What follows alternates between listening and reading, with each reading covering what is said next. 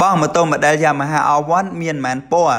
គ្នាយើង message មកសួរច្រើនណាដល់ពេលអញ្ចឹងទៅកុំឲ្យបាក់ឆ្លើយមួយមួយខ្ញុំធ្វើវីដេអូនឹងឆ្លើយទៅគ្នាយើងហ្មងទៅម៉ូតូ model collector ទាំងអស់គ្នានេះគឺជាម៉ូតូ Yamaha YZF R1